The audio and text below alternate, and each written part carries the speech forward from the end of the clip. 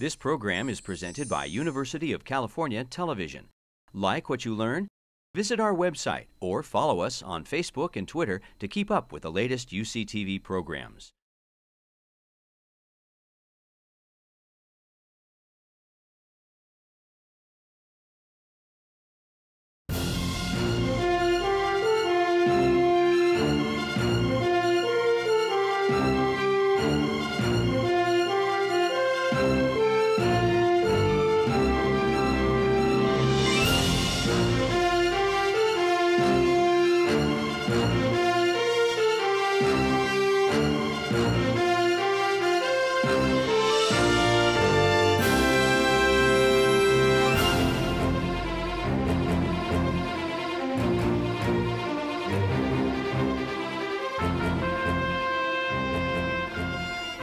History of the CIA, not one agency staff attorney has ever wielded more influence or power than John Rizzo.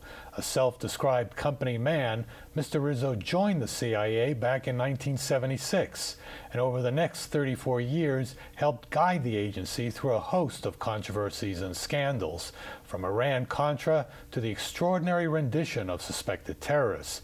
Mr. Rizzo retired from the CIA in 2009, but this year he returns to the spotlight with an absolutely fascinating memoir. It's called Company Man 30 Years of Controversy and Crisis in the CIA. John Rizzo, welcome to Legally Speaking. Good to be here, Marty. I, would like to begin this conversation by uh, reading to you a blurb that appears on the back cover of your book. Actually, it's the very first blurb. It's uh, written by a, a, Washington Post columnist named uh, David Ignatius. He writes, quote, Think of Tom Hagen, the Corleone family lawyer in The Godfather, and you begin to get the flavor of what Rizzo has seen and heard. Now, I think what's interesting about that blurb is that it suggests that there's an, an, analogy to be made between what you did at the CIA and Mr. Hagen's role as the lawyer for the Corleones. Uh, now, I know that you can't be entirely comfortable with that analogy, but are there similarities to be acknowledged? Obviously, I would never equate CIA with a with an organized crime uh, organization. Sure. But once you get beyond that, um, beyond that, are there similarities that, to be acknowledged? Yeah, I mean the consigliere, the Tom Hagen character in The yeah. Godfather.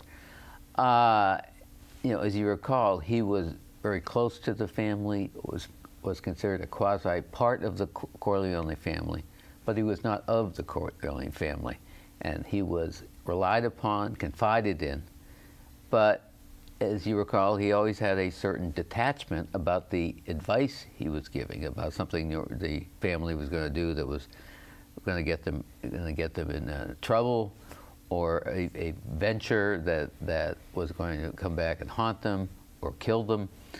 Uh, in that way, there is a, I must say, a certain parallel mm-hmm. between a, Tom Hagen and the kind of role I played for all those years at the CIA. But, but a consigliere, his job is not necessarily to advise on how to stay on the right side of the law. His job, more often perhaps, is to advise how to break the law and get away with it. Is that part of what you did as a lawyer for the yeah. CIA? Well, there is a danger in taking this analogy too far, Marty. Uh, well, you have been called a legal enabler, am I, I right? I have been. That was in another, uh, I believe that was a Washington Post review of yeah. the book. Uh, and what is an, a legal enabler? well, all? I mean, that particular description, honestly, I don't think was intended as a compliment, but I, I take it as such because that's what my uh, role was really. I didn't see my role, for instance, as just every time I, I was told or something was run by me uh, for proposed covert operation, I would just say no can't do it. It's stupid. It's not just illegal. Even if it's legal, it's it's crazy. Don't do it. You'll get in trouble. I'll get in trouble. That was that would not be a, a useful role, a constructive role, a necessary role for a CIA lawyer.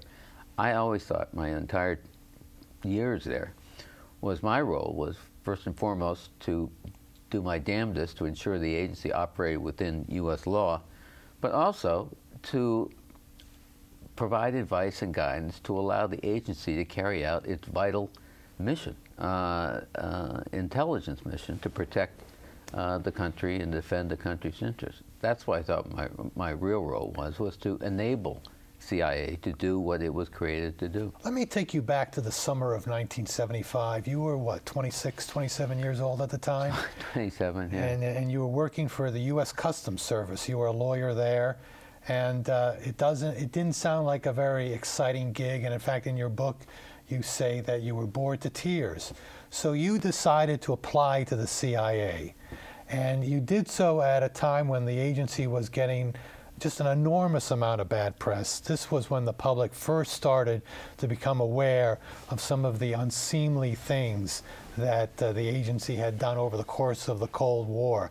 We're talking about assassination plots. We're talking about overthrowing democratically elected governments. We're talking about money laundering, fixing elections, and most bizarrely, subjecting unwitting subjects to LSD experiments. unwitting Just, Americans, actually, yeah. I understand that you were bored with your the job that you had, but why would you want to join an organization that had done all these unseemly things for so long. Yes, it does seem counterintuitive, yeah. doesn't it? Yeah. Um, the fact that, that all that, all the terrible misdeeds I was learning about that CIA conducted was the spur for me to apply to, yeah. to come to CIA. Well, I mean, it, it, were you that bored?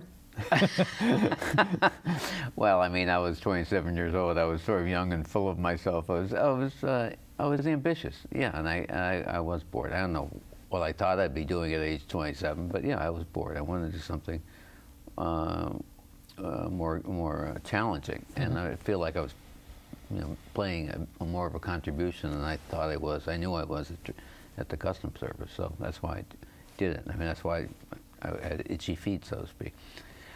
I thought uh, that in the wake of those those hearings, those revelations over the past activities over the previous 30 years, you know, I had I had given no thought to CIA in my life really before then, mm-hmm. uh, and I thought even at my young age that I had no idea whether the CIA had lawyers.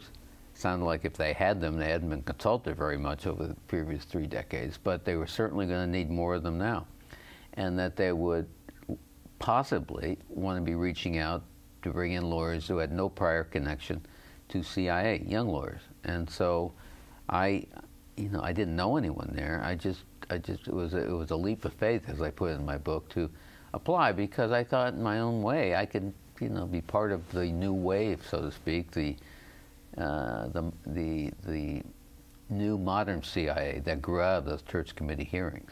So, did you see yourself as part of a, an effort uh, to rein in the agency? Yeah, the term rein in, I suppose that's fair to, uh, to say people out me were brought in to rein in the CIA, but I, you know, I prefer the word reform because the idea was not to stop the CIA completely, but to make it help it go in a new uh, direction. But, but, here's the thing: I mean, you, are on the clandestine side. Uh, you're dealing with people who have an obvious talent for manipulation, for deceit, for, for lying. That, that, those are the qualities that make a good spy. But those sorts of people can also be a, an, an, incredible headache to manage, right? How, how, do you effectively manage people who have those skills? I mean, can these people be depended on to retain their moral compass when their job is to lie and manipulate and deceive? Yeah, be Machiavellian. Yeah, uh, all of that. Yeah. yeah, yeah, the spy culture, the right. spy, right. the spy mindset. And in terms of these people are your clients. Uh, so how do you, you know? It's a logical question. How do you? How is a lawyer? How do you manage how these you manage those yeah. people? Well, I found during during all my years there that these people, for all their Machiavellian and uh, ways of operating and doing their thing on the outside, they're always remarkably open and candid, uh, you know, with me. I mean, in the first place, if they were going to do something sort of chicanery, why would they come to me in in the first place? They mm -hmm. would mm-hmm. just be able to do it. Uh, and you know I wouldn't have necessarily known about it. So they wanted to come. They actually, uh, I mean, more often than not, if I were ever to tote, tote up the numbers over the years, I would say many more. There were many more occasions where these spies would come to me with a proposal that they thought might be illegal uh, or wondering whether it's illegal, and they wanted to come and get advice. And, and you know, they wanted, they wanted a lawyer to look at it. And more often than not, these are operations I couldn't find anything illegal under U.S. law. Maybe they were risky. Maybe mm-hmm. they were, to my mind, sort of silly or stupid or feckless. But but these these these people, and they dealt with three generations of CIA spies. They were they're always remarkably open, I think, and forthcoming. Uh, to, to come and, and really legitimately, honestly want my advice. And you found that, I mean, there are people who have over the years portrayed the, uh, the agency as being plagued by renegade spies. I mean, uh, um, uh, uh, Tim Weiner, a New York Times reporter, wrote a big history of the CIA, Legacy of Ashes.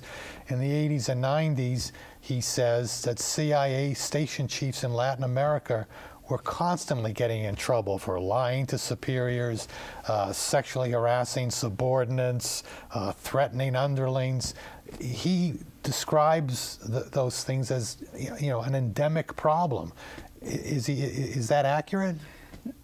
No, I mean, the short answer is no. I mean, I read Legacy of Ashes actually to prepare to prepare when I was doing research right. on my own memoir, and it's a you know, in many ways, it's an impressive volume, over 700 pages, describing the entire history of CIA, but also clearly comes from a certain ideological and political bent, where you know Mr. Weiner basically finds everything CIA has ever done in its entire history mm -hmm. to be either corrupt or irresponsible or stupid or you name it. So that is not.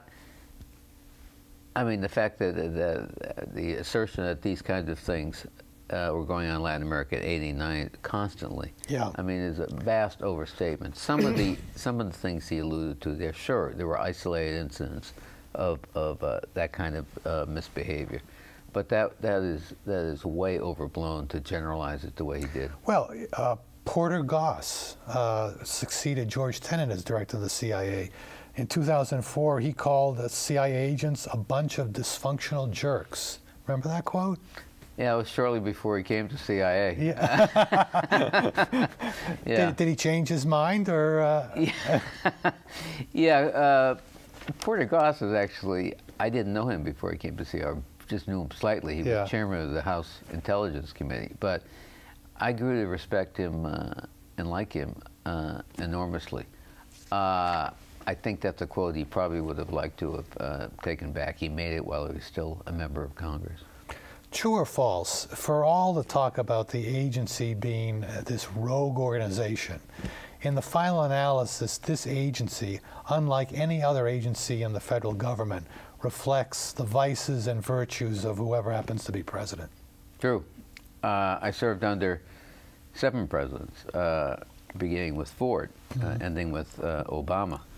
Uh, and obviously, vastly different personalities, political persuasions of, of each of the seven. But they all came to view, and I think all presidents always will view CIA, I put in the book, their personal pop stand. It is unique, I think, among federal agencies. It exists solely to carry out, to implement the president's wishes. Mm. Uh, and every president comes to view the CIA uh, as indispensable. I mean, it's, it's always been a very um, nimble organization, operating quickly. Uh, it operates in secret, which of course presidents like. Uh, it doesn't have to, it has unique uh, rules that apply in terms of appropriating money, spending money. It's just a, it's just a very, it's a very um, enticing, albeit risky, uh, uh, piece of national security machinery the president has his, his uh, disposal. Well, let me uh, take you to 1980 uh, and the election of Ronald Reagan, who in turn brought in his campaign manager, Bill Casey, uh, to run the CIA. You, in your book, say that Casey was, quote, the toughest, smartest, and most complex CIA director that, uh, that you had ever worked for. Uh, no, I, I, certainly buy the complex part, but I, I, guess in this context, I'm wondering how you define smart. Well, he was a brilliant man. I mean, it, it, he had a he. Uh, first of all, he he was um, he he had previous experience in spy world as a young man. He was part of the OSS, that fabled pre the World War II espionage right. organization headed by General Wild Bill Donovan. And Casey was a part of that. So he actually, he was no dilettante when it came to spy business. After the war, he went to law school, became a hugely successful lawyer, uh, then got into the financial world in New York, became fabulously successful and wealthy. Uh, and then the Nixon administration was named to head the Securities Exchange Commission, where mm -hmm. this was where the complex part came in. A, a, a more rock ribbed conservative Republican you couldn't find. But, but as you may recall, he became the scourge of Wall Street when he became chairman of the SEC, cracking down on corporate uh, misconduct and bribery, which was apparently fairly endemic in the early 70s. So he was a, he was a, a very smart, complex guy, wonderfully well read. Um, he was also a bit of a character. I mean, he he he spoke in this mumble. Uh, uh, he was a lawyer by training himself, so I had when I was dealing with him, I had to, as he would remind me more than once, he was a lawyer too. He could be gruff. He had no sense of public relations and also no sense of congressional relations and the need to, to stroke the, the Congress, our congressional overseers. I mean, he just had no patience for it. Well, I mean, wasn't he uh, something of a throwback? He really never did buy into the idea, did he, that the CIA had an obligation to answer to Congress? You know, I, I think, again, he grew out of the OSS days. Yeah. I think he was basically a buccaneer. I mean, yeah. he was, and he didn't understand, he didn't accept uh, the notion of congressional oversight. So in 1985, President Reagan signed this presidential finding, which, as we all now know, authorized the selling of arms to Iran in exchange for freeing some American hostages in Lebanon, mm-hmm. which in and of itself would have been a real problem for the administration. But what turned it into a full blown scandal was the revelation that the funds that were used from that arms sale were used to support the Contras in Nicaragua in blatant violation of U.S. law. As you sit here today, do you believe that Casey uh, had nothing to do with that? With the diversion? Yeah. I, I, hmm, you know, I try to deal with that in in the book. Uh, uh, that's been debated yeah. uh, down through the years. Casey and died I don't think in your book you ever say whether you think he was or was not aware or approved of this? I don't think he did. You I don't, don't think he did? I don't think he did. He, I, I mean, honestly, had he known about it, I don't think he would have objected. But I, I think all the available evidence is that this was Ollie North at the White House, at the NSC, who was doing this. Mm -hmm. You know, Casey died right literally at the beginning of the Iran-Contra hearing, so he was never brought to account. And of course, there was that famous story by, by Bob Woodward. I was going to ask you about, about that. Veil, yeah. where he where he claimed at the end uh, that that he had this deathbed yeah, conversation. Bob Woodward in this book says that he was able to get into Casey's hospital room and get what, in essence, was a deathbed confession from Casey that he, Casey, had in fact ordered this diversion. You don't think that happened? No, I just don't think there's any evidence that ever that ever. Uh, happen. I mean, it was a very, it was a, it was a huge story at the time. It was a yeah. dramatic, to my mind, too dramatic denouement to, to, to the Woodward book, and it was a enigmatic response by Casey. You know, but Woodward supposedly asked him at the hospital bed, "Did you know about the diversion?" And Casey said, said "Yeah, you know." Nods, and then Casey, Woodward said, "Why?" And quote, Casey responds, "I believed." Right. Very dramatic too dramatic. So you think Bob Woodward, one of this country's most revered journalists, lied to sell books? Well, I don't think this, I don't think the story is true. I don't want to use the word lie, but I, no, I don't but think that's this, what it is, yeah, right? Yeah, I don't he made think, up the whole thing. I don't think it ever happened. I don't yeah. think it ever happened. Uh, no one besides Woodward in all the ensuing years has come forward to say that Casey knew about this. Casey's wife went to her grave she died some years later, denying that Woodward ever got into that hotel room. It would have been a hospital room. Hmm. It would have been physically impossible for Woodward to get into that hospital. But Woodward is sticking by the story. Yeah, right? well, what's, I mean, you know. Yeah. And I mean, I do say in the book, in fairness, I cannot prove it. I cannot prove it. It's just my conclusion, my belief from being there at the time and knowing all the players involved that it could not have happened. Yeah. But I can't prove it. Let's talk a little bit about the CIA's relationship with people who are known as uh, dirty assets. Uh, these are people who are often uh, human rights abusers. Uh, they often are, uh, they may be terrorists themselves. They may be involved in the drug trade. Uh, but of course, the world is a complicated place, and from time to time, the CIA has acquired extremely valuable information uh, working with these people.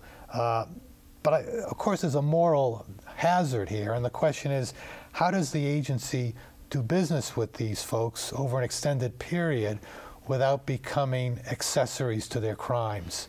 Yeah. Uh, and you actually looked into that at one point. Uh, you did a review of the CIA's uh, relationship with these dirty assets. So Yeah, what, was- what sorts of conclusions did you come to? Yeah, yeah. This was in the mid '90s, uh, seemingly, seemingly a million years uh, Yeah. ago, uh, given what's happened in, in the subsequent 20, 25 years. Yeah, this issue of dirty assets.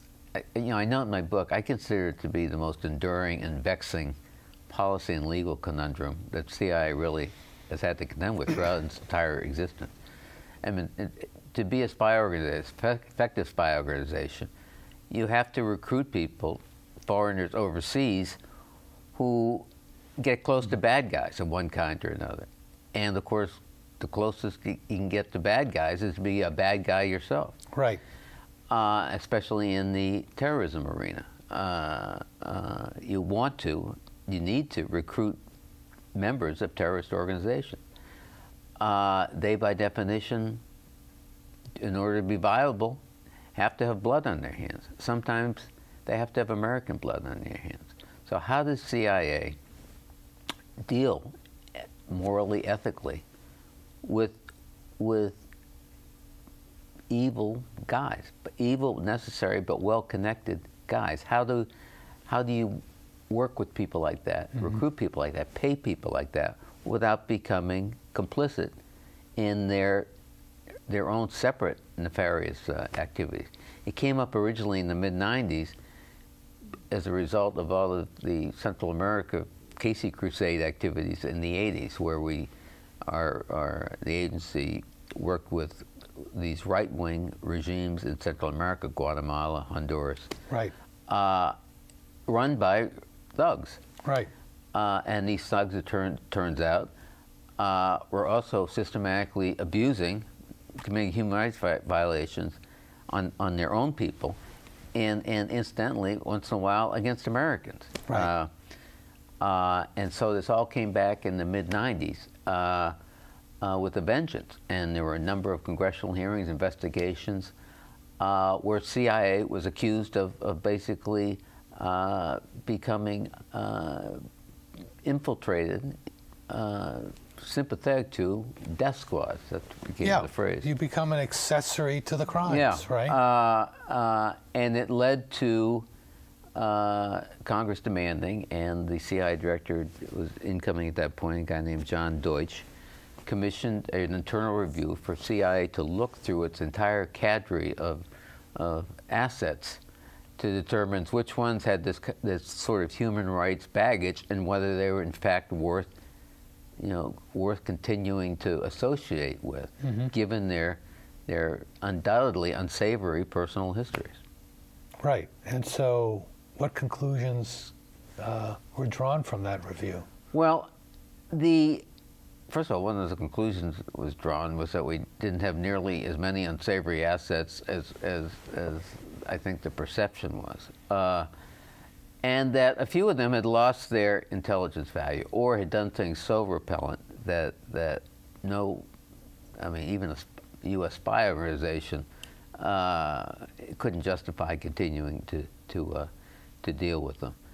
Uh, so, so there, the list, the list was not that long, but it was. It, I, you know, it was it was refined somewhat. There was a scrubbing, uh, what we call the what mm -hmm. we mm-hmm. call the asset scrub. So have the standards changed, the rules changed by which mm. the CIA uh, conducts these relationships? Well, it was ironic. All of this took place in the mid '90s, so that's what the political winds were. CIA yeah. was too abusive, was was consorting with all the with too many thugs and lowlifes in the world.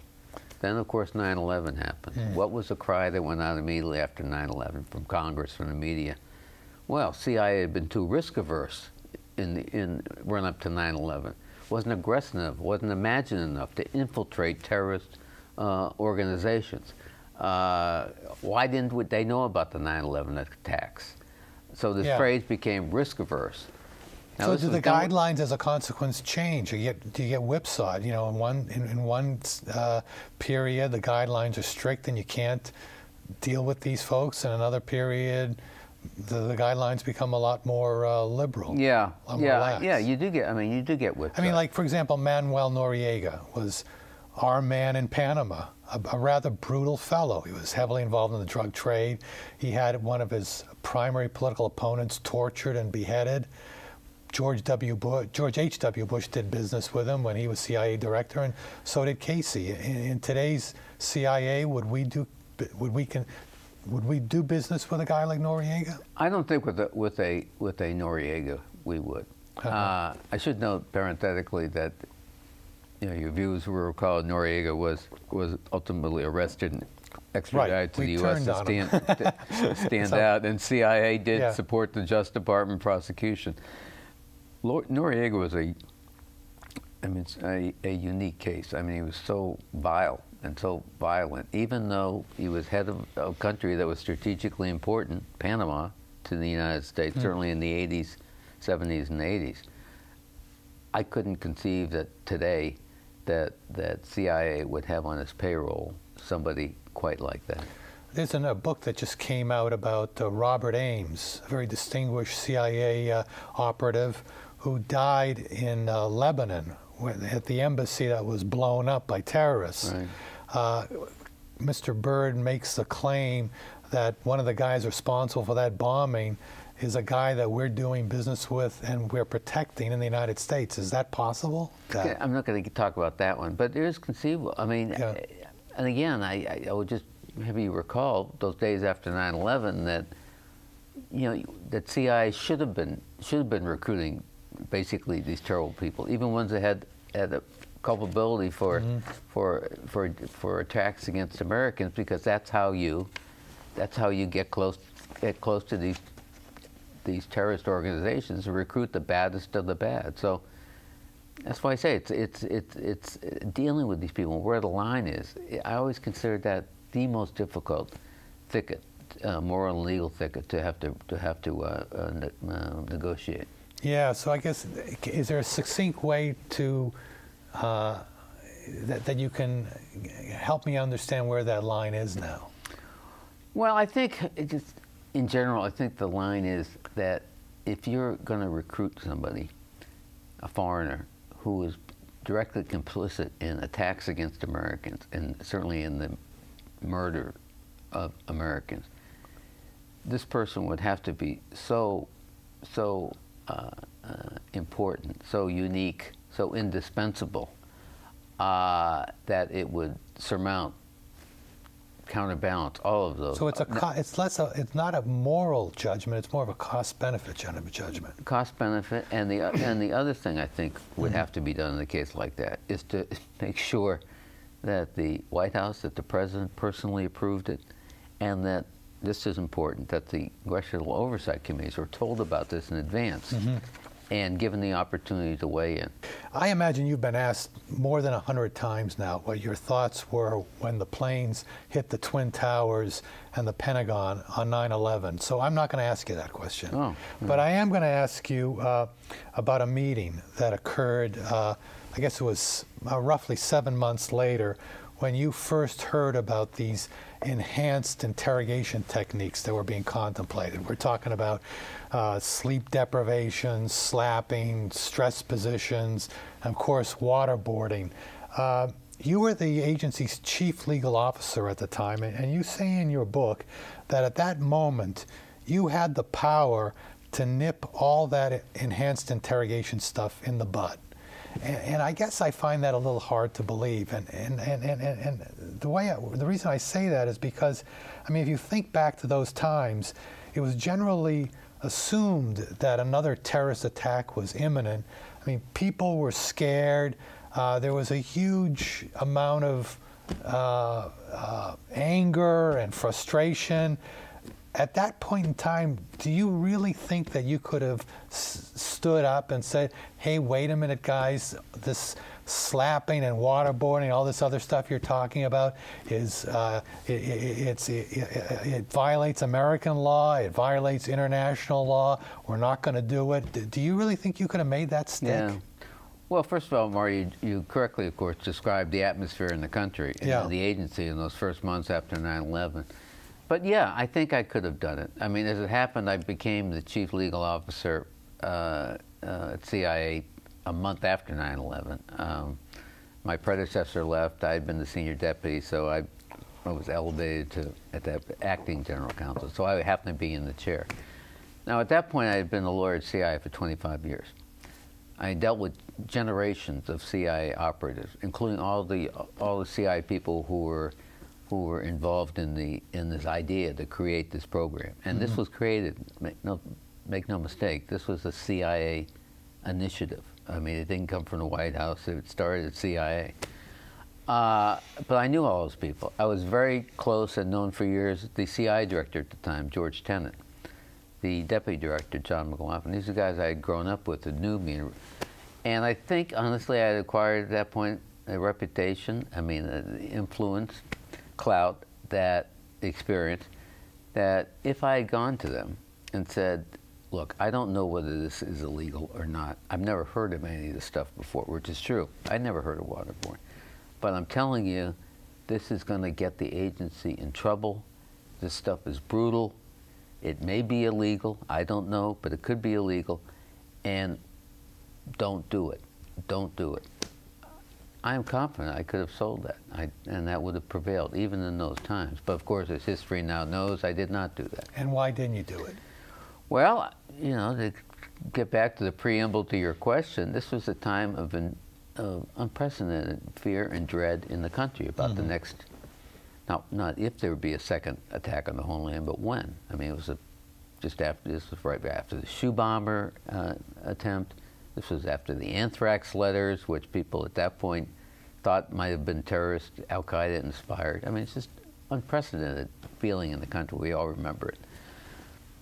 And here was a program, unprecedented in its history, that our experts, not just our operatives, but our analysts, our scientists, our psychologists, uh, were convinced was the only way to, to break the first high level Al Qaeda detainee we had captured just a a month or a couple of months earlier, a guy named uh, Abu Zubaydah. Yeah. And he was, in our people's view, stonewalling. And that if there was going to be another attack, this guy would know about it, and he basically was thumbing his nose at his interrogators. And these techniques were the only ones that, that our, our professionals considered had a chance of, of breaking down his resistance and getting him to talk. So that was the environment I was facing.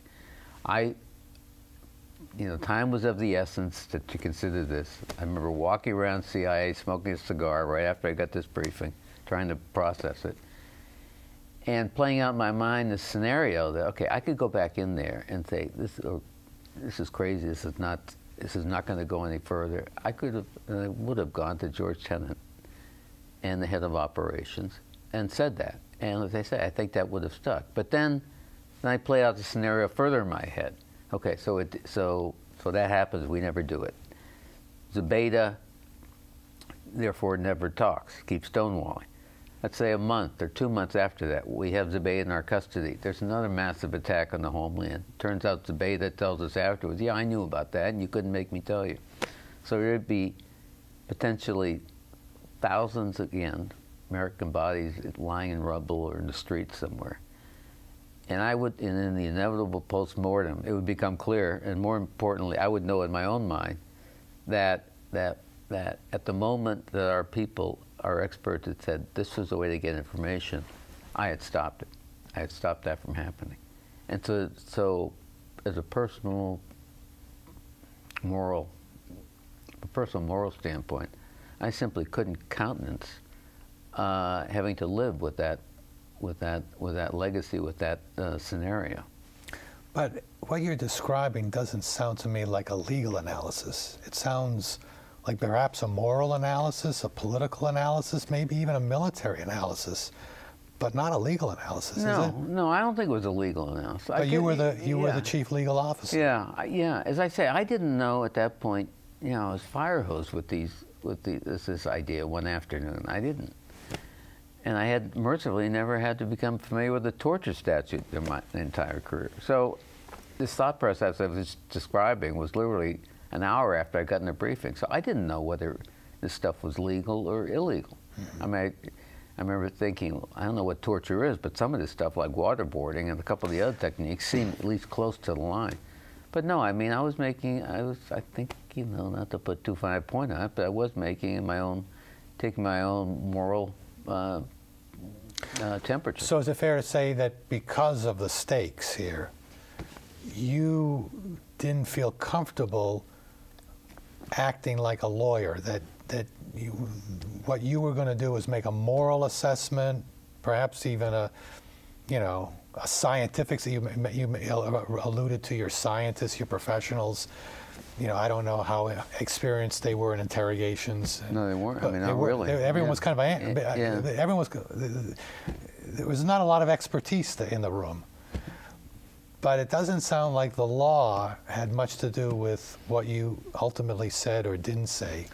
Not, not, not my, not the initial react. I mean, the Yeah. initial reaction. Really, the law was secondary. It was, I mean, frankly, there was a certain, or a certain cold practicality about it too. I'd been at CIA long enough to know what I would be told about proposed activities, which one were going to get us into big, big trouble down the road. And I knew, first time I heard about these proposed techniques, that somehow, someday, they were going to cause the agency immense problems. Right. Law or no law.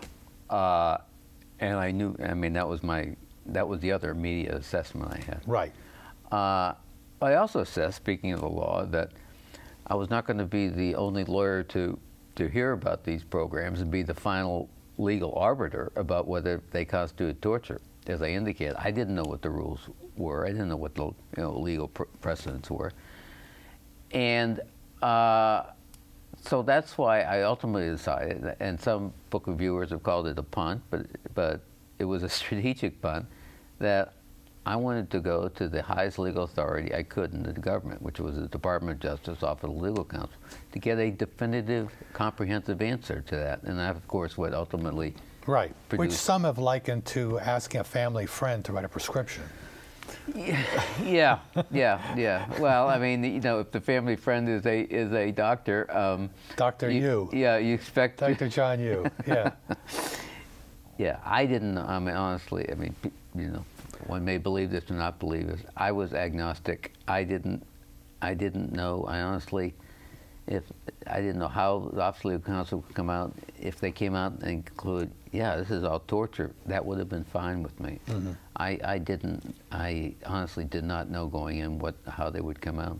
As you know, both the President of the United States uh, has, and uh, at least one former CIA director, Leon Panetta, are now on the record saying that there were interrogations at times that our people conducted that did rise to the level of torture. I know you don't agree with that characterization, but in your book, you do say that some of these interrogations were brutal. That is the word you use. Uh, you also say that when some of these uh, enhanced interrogation practices were first described to you, they struck you as sadistic and terrifying. Again, your words.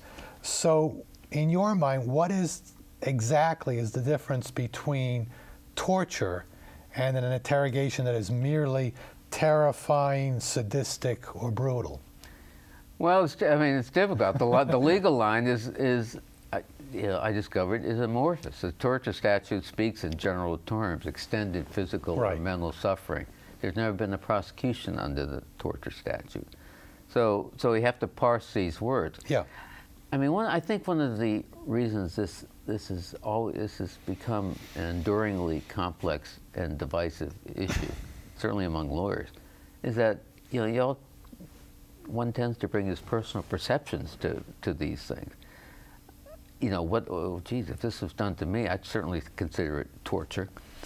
Uh, uh, and that's where I was. I mean, I uh, the waterboarding was was brutal. I can't imagine the, the idea of sim simulated drowning. There was another technique that was proposed at the outset that never was actually implemented that I thought was even, as I say in the book, even more terrifying. I was not allowed to, to specify that technique uh, in the book because CIA said I couldn't, it was still classified. But I, th I think what what happens is people, you know, you look at well, what is torture? What, what you know, as, as opposed to you know, as opposed to brutal. Yeah. Yeah. Yeah. How do you draw that line? Well, it's difficult. Uh, there's, I no, mean, one, there's no, one there's no statute is, on brutality. There is one right, on torture. Which yeah. means that if you torture, you can be prosecuted. If you're merely being brutal, you can't. You're you're not yeah, prosecutable, right? Well, you, no, you wouldn't violate the law, but you certainly would be subject to to you know, subsequent moral and legal opprobrium. You know, which is what I right uh, faced in later years. But I mean, in your mind, is there a way to distinguish between brutality and torture? Well, again, you know, people ask me, what would I, what would I uh, consider uh, yeah. torture? Uh, yeah, I would, I would say pulling out fingernails. You know, uh, uh, was torture. Yeah. Uh, um, drugs, you know, causing causing people to basically lose their minds over with with drug injections. That would be torture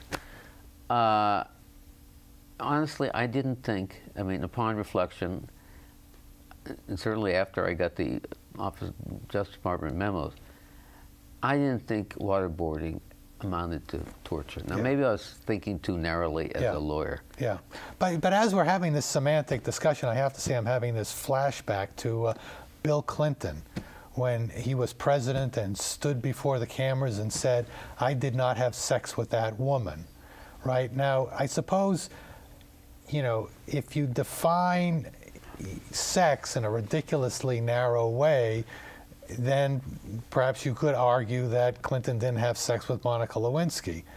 But, uh, you know, it would have to be a ridiculously narrow definition. So I'm just wondering, you know, when you're talking about uh, someone being waterboarded 83 times, which is what happened to Abu Zubaydah, or 183 times, which is what happened to Khalid Sheikh Mohammed, and you're trying to argue that this is not torture. I just, I'm just wondering whether in that same region of ridiculousness. well, Marty, I must say, of all the interviews I've done in this book, this is the first time that the uh, debate over torture was equated to Bill Clinton. Yeah, I know. That's the way my mind life. works. Yeah, yeah. I'm sorry. I apologize uh, no, for that. no, I, I mean, I, I take your point. Yeah. I take your point. That that uh, and again, I totally understand, except that people say, "Well, this is just fatuous yeah. sophistry you guys are operating under." Right. Uh, uh, I mean, all I can tell you, it was. I mean, it was. It, if I thought it was torture, yeah. Uh, it wouldn't have happened. Yeah. And just let me give you a hypothetical, and you tell me how, as a, as a CIA lawyer, you, you assess this. Let's say the CIA goes into a Western European country and kidnaps one of their citizens and then brings them to a place, not for any due process, but to a, a, a place where this person is treated brutally. Um, is there, are there any alarms that would go, given that hypothetical, as the lawyer for the CIA, would any alarms go off on your head? Oh, sure, sure. Now, would, it, would they be fire alarms or would the, that I would uh, necessarily say, no, you can't do that. That's illegal. What would no. you say? Well, it'd be again. It's all. It's all. The devil is in the details, uh, so to speak. Um, if it's a if, if it's a citizen of a country of a close U.S. ally, uh, uh, that would be a that would be a red flag. Not necessarily disqualifying, but would kick it up into the level of risk and we talked before about, about cost-benefit analysis. Right. That, that, in my mind, would require very high-level policy approval in the U.S. government. So that's one factor. Second factor, you mentioned that he, that the, the guy, we would take the guy to a country where he would be brutally uh, interrogated. We cannot, we would not, and I certainly wouldn't, as a CIO or countenance, us taking, grabbing a guy, taking to a country for the purpose, knowing that the country, and let's say even encouraging the third country to torture the guy. Mm-hmm. It's called outsourcing torture, another phrase that entered the post 9 11 lexicon. That would be, to my mind, verboten. I mean, if we can't, if the United States, if it's against the law for the United States government to engage in torture, we simply can't, can't eliminate the problem by having some other country do it. So, the, so those would be the kind, kinds of limits. The third country uh, would have to you know, conduct itself, and CIA had to, would have to get reasonable assurances that they would not torture the guy. Mm-hmm. That kind of thing. Right. I know you can't talk about specific cases uh, easily, but the case of Abu Omar, Italian citizen who was taken, uh, I think, from Milan and brought to Egypt for some harsh treatment. I mean, there are those who say that this is an example of uh, the CIA violating international law. You, you disagree? Yeah, yeah. Uh, uh, thank you for not making, you know, understanding the constraints they operate in. You know, sometimes I would like to talk more about some right. of these things than I'm authorized right. because I think there's a there's another story to tell. Yeah, yeah. Uh, but I can't. So that's that's the way it goes. But no, I I would a, a, a an operation like that. I would I do not think on its face uh, well, certainly doesn't violate U.S. law. Right. What about international law? Uh, you know, I don't. I don't think so. I mean, we we um, you know, I've never gotten a. You know, God knows I've you know, busy enough over the years trying to trying to trying to stay up with the U.S. laws about espionage activities. The let's say the for instance the Carlos the Jackal rendition. Uh, from Sudan to France, and that was not a, you know, it was a rendition. It wasn't an extradition. I mean, he was grabbed. Right. If I'm not mistaken, uh, the European Court of uh, Human Rights uh, upheld that as lawful. But so again, I, am not he was brought to a place where he got some judicial proceeding. right, right, right. But yeah. that's not what apparently happened to Abu Omar. And again, I know you. It's an awkward. Yeah, I'm putting you in an awkward no, situation. I understand. I understand what you're saying. I guess I don't accept the premise that just that it would have to be a sine qua non that the individual would have to be tried in in the or get court. some sort of due process. Well, I mean, yeah, yeah. Um, yeah, some sort of due process. I re released, for instance, or or have access to counsel or uh, right. And in these and these and in these extraordinary conditions, there was no due process, right? Well, some were held for for for lengthy periods of time. Some yeah. were some were ultimately let go.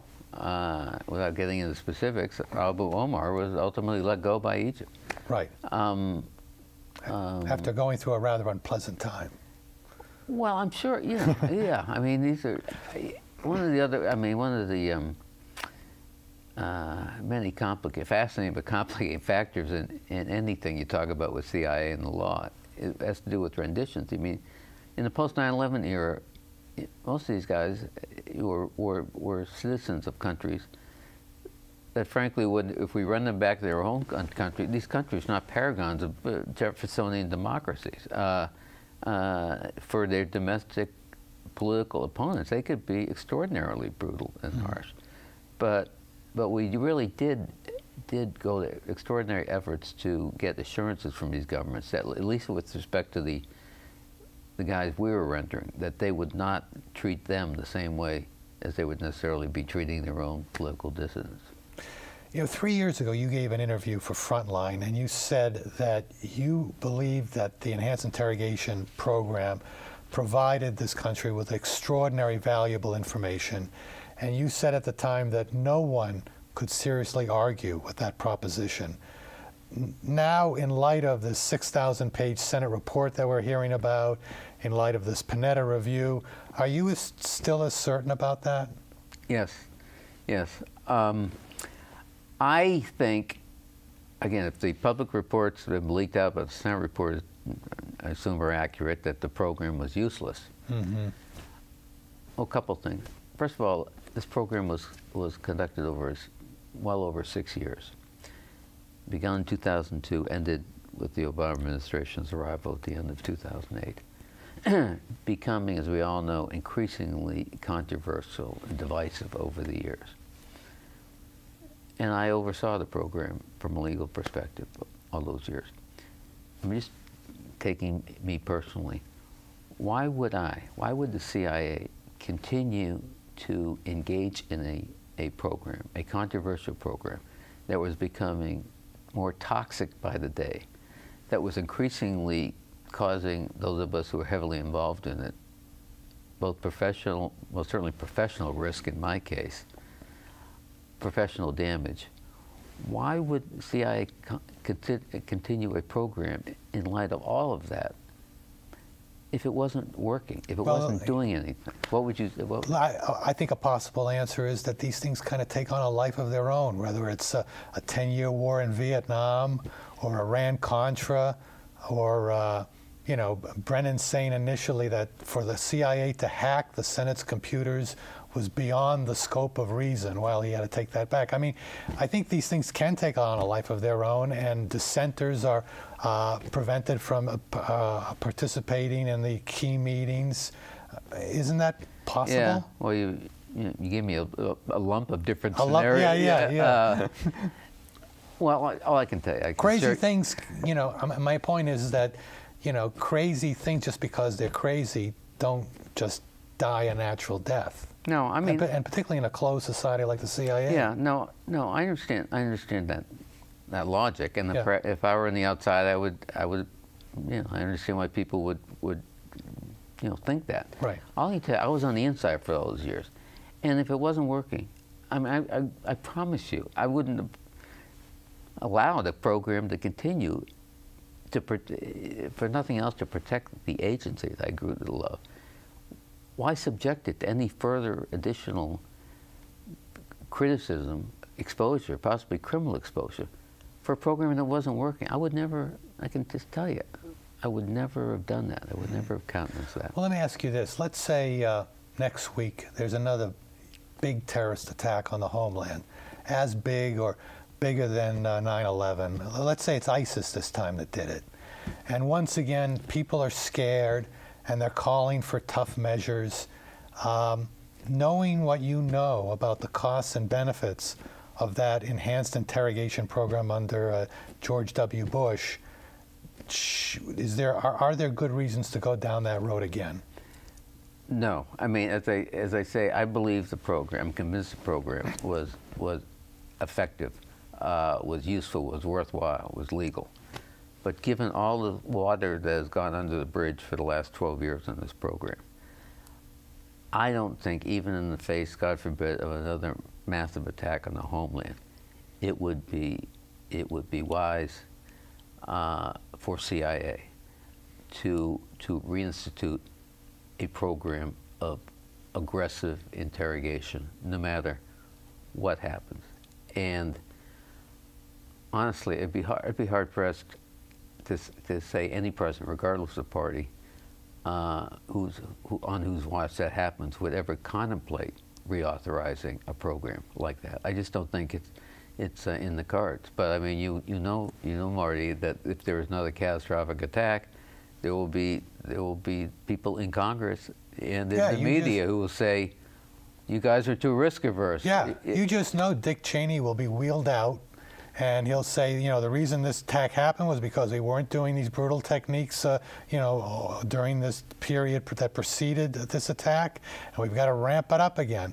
And, and what do you say to Dick Cheney when he says that? We are, we are not going to, well, we, I would say to Dick Nessa, you know, I'm sorry, I was struck by the irony of having to make an argument like that to Mr. Cheney. Um, that the CIA should resist. Uh, Why? This should resist it is, the program was valuable.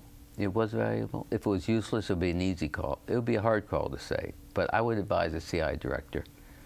Again, I'm not sure I would have to advise him.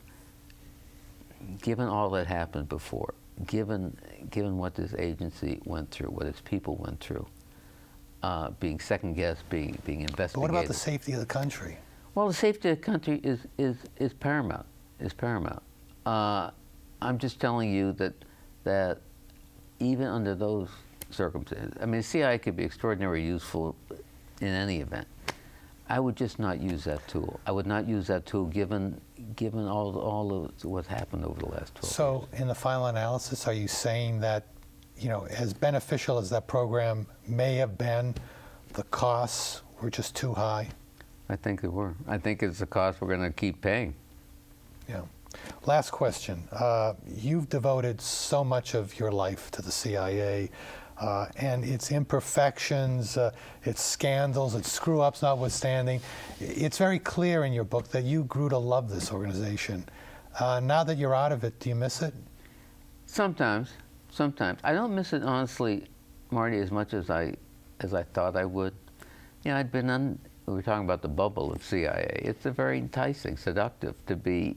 First of all, to know secrets. That's human nature. And I was happily involved inside that secret bubble for so long. And once you leave CIA, at least in my case, you know, that last day, I had my retirement ceremony. I gave, turned in my badge. I walked out the door, and that's it. It's over. And so I was about to go cold turkey, and I, I, I had twinges about that. But as I decompressed, and writing this book was very helpful to me for no other reason that it, it was uh, it, it, caused me to decompress. It's like a catharsis. Yeah. Yeah. Uh, I didn't miss it as much. I think the only day, the only day I really wish since I'd left five years ago that I was back in there was the was the day that Bin Laden was taken down. Mm. But other than that, I think what happened was, first off, 34 years is a long time. Secondly, those last several years were, were grueling. Now, I didn't at the time, you know, I just try to get try and get through the days, crises. Uh, I didn't realize until after I was gone how grueling it really was and how, how relieved I would be not to have the kinds of responsibilities uh, that, I, that were placed on my shoulders uh, those last several years. So it was a great sense of relief. Hmm. John Rizzo, thank you so much for being here. I appreciate it. Thank you, Mark. Thank you.